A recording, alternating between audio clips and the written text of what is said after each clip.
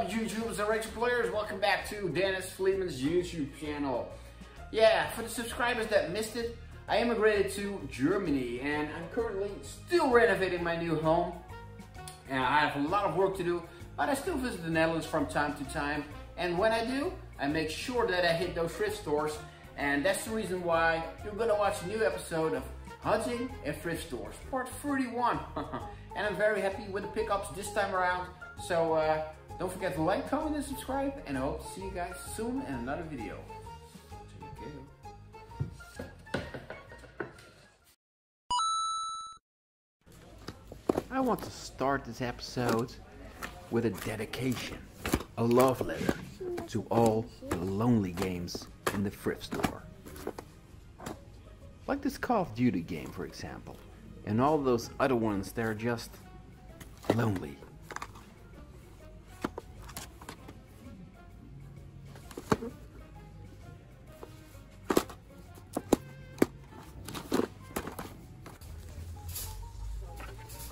Ten euros for a brain training or big training DS game? Are you people absolutely mad in the thrift store?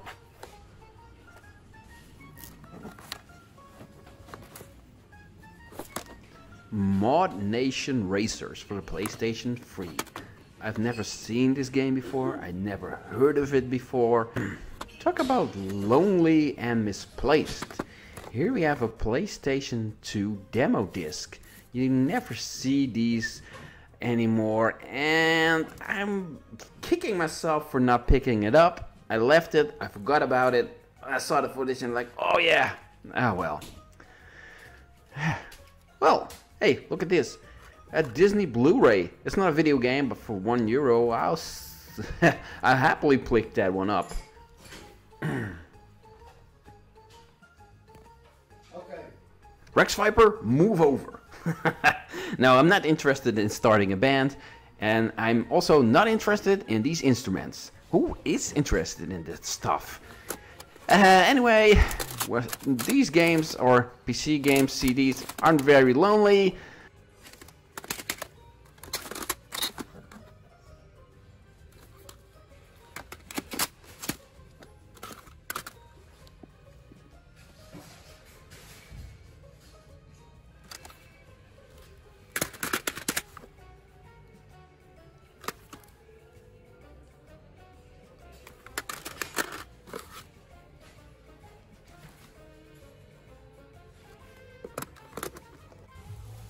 A stack of PlayStation 2 games. Well, look at that. I'm very glad that I decided not to do that Franken game that was suggested a couple of videos ago because I would have been wasted in the thrift store. Soccer game, soccer game, soccer game. Not FIFA, but soccer nonetheless. But there's actually one good game in this lot. Freedom Fighters.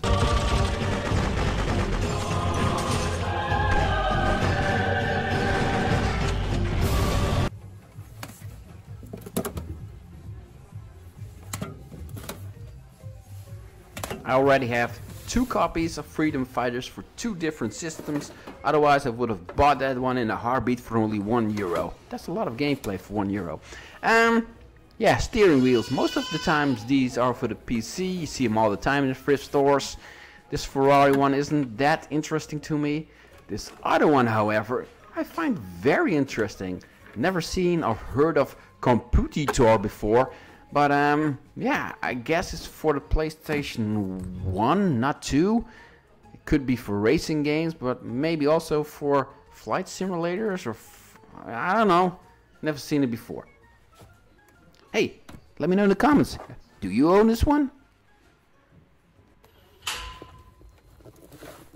We are moving away from the video games for now and we're checking out board games. Atmosfear.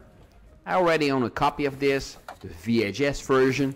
That is the superior version, in my opinion.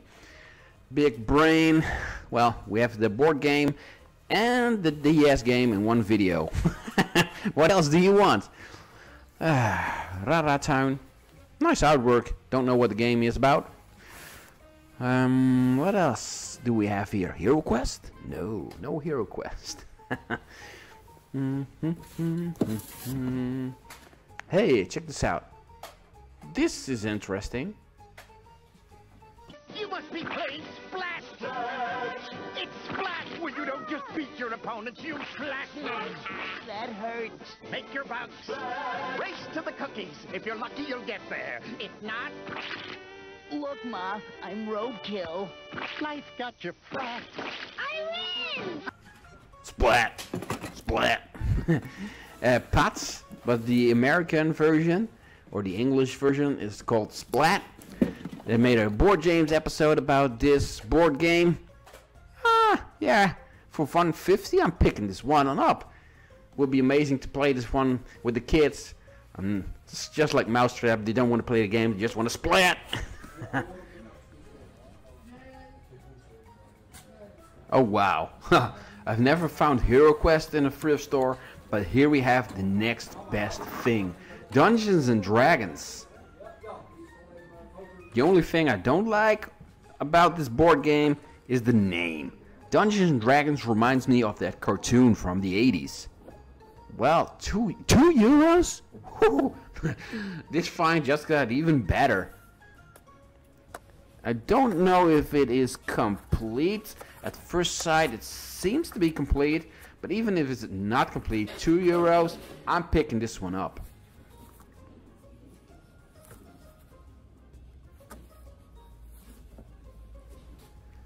Time for another blast from the past in the thrift store. Here we have for 250 a portable CD player.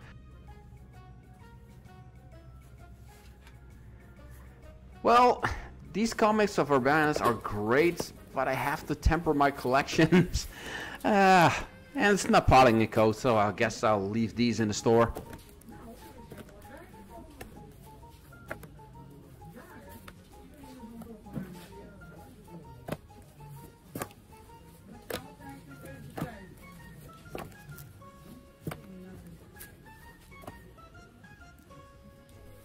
I might have passed on the Urbanus comics, but I'm definitely not passing on these Turtle comics. They are amazing. They bring back so much childhood memories for me, playing at the school with my friends and reading these comics.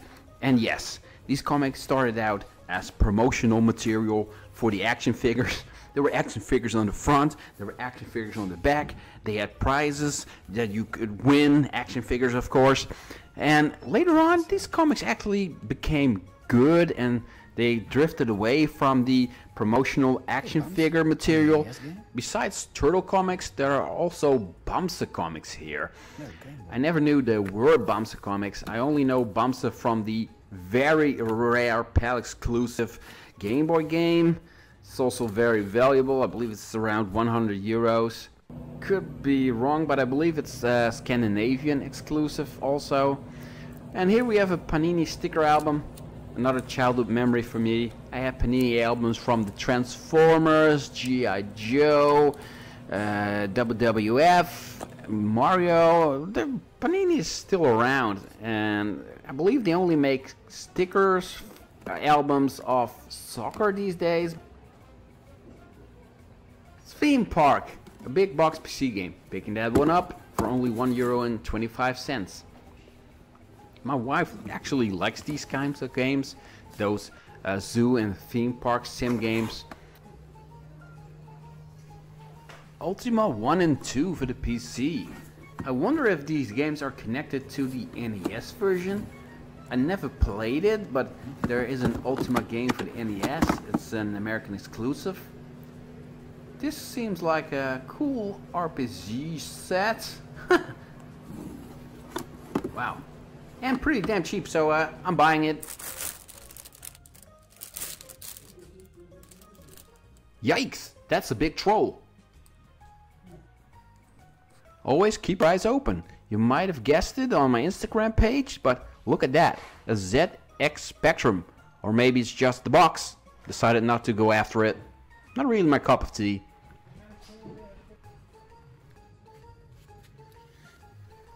My last pickup is an interesting one and one that I don't make that often. It's a G.I. Joe plane, or better said, a Cobra plane. This plane is definitely not complete. It has seen better days, but for one euro and 25 cents, I'm picking it up.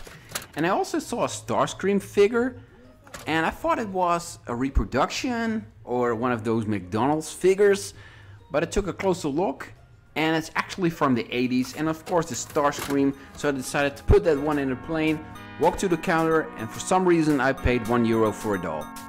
Yeah, go figure.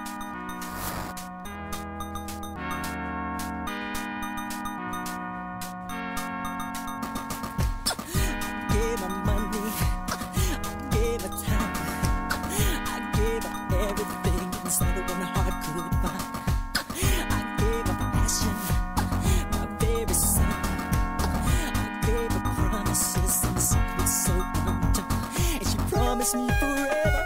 And the day we live as one, we made our vows we'll live a life anew. And she promised me in secret that she'd love me for all time. It's a promise so untrue. Tell me what will I do?